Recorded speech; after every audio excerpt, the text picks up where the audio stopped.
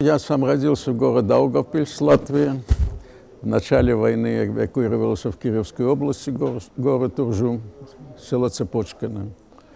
Там нас 20 ребят из Латвии, молодые, в основном комсомольцы, подали сразу заявление, чтобы зачислили в армию. Как раз в это время создавалась латышская дивизия. Ну и э, заявление наше приняли, нас отправили э, в Горховец, там, где формировалась латышская стрелковая дивизия. Латышская стрелковая дивизия бои начали под Москвой, под э, Елагиной, наступление на Нарофаминск. Э, там вначале мы шли вторым эшелоном, когда 6 э, декабря 1941 года началось наступление под Москвой. А с 20 числа уже наша дивизия вступила тоже переняла первый эшелон, а с первого эшелона было выведено на пополнение. Я был рядовым солдатом, пулеметчик Максима, второй номер.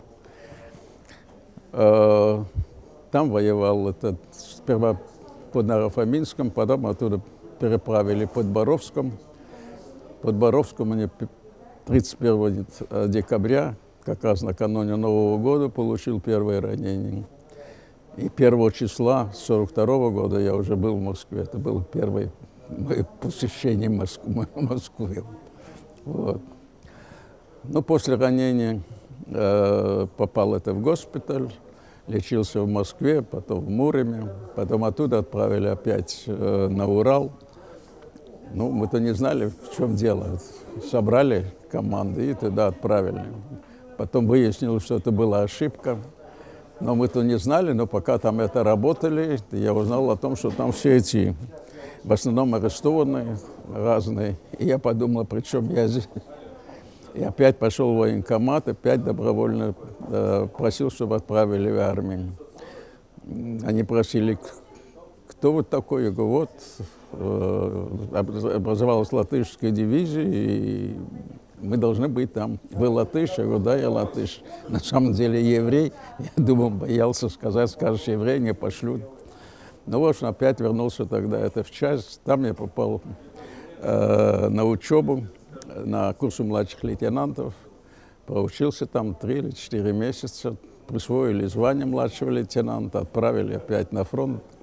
Хотя учился на минометчика, но там минометчик командира не требовались, назначили мне командиром э, э, командиром взвода противотанковых оружий. Пришлось это осваивать опять новую технику. Ну, там так получилось, а тоже что там, э, в наступлении на Симонова, это Ленинградской области. Э, там как раз э, при наступлении появились э, немецкие танки, там три штуки.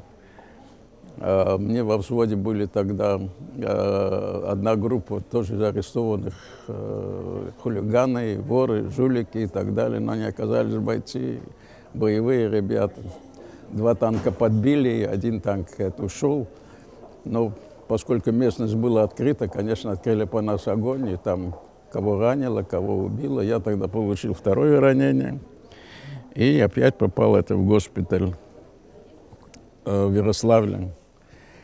Но после выздоровления опять меня направили опять это в дивизию. Уже после этого я уже был, э, это был 43-й э, год уже. Нет, 42-й год.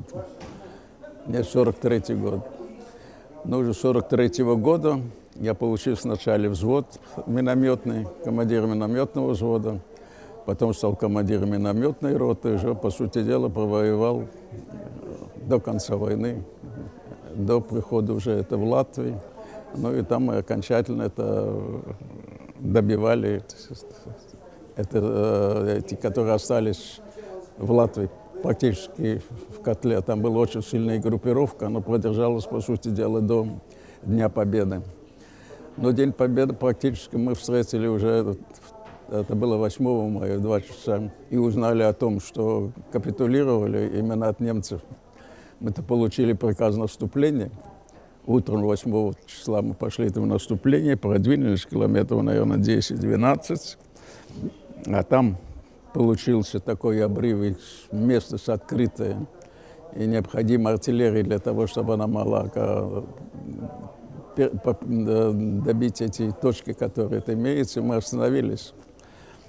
Поскольку тогда этот день был э, дождливый, ночью лило, и дороги все размокли, и обоз пройти не мог, и мы остались, по сути дела, простым оружием. И тогда комбат принял решение пойти к командиру полка, уточнить, что делать. А там получили приказ наступать. Это было как раз два часа с восьмого. А когда мы начали наступление, белые они начали, подняли флаг. И когда мы подошли к ним, они нам сказали, что вот, мол, они получили приказ остаться на свои места, и что мы должны остаться на свои. Но мы такого приказа не имели, конечно, пошли дальше.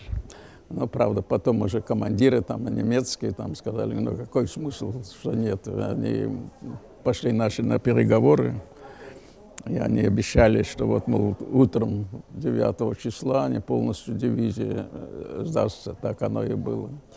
Вот так практически для меня война кончилась.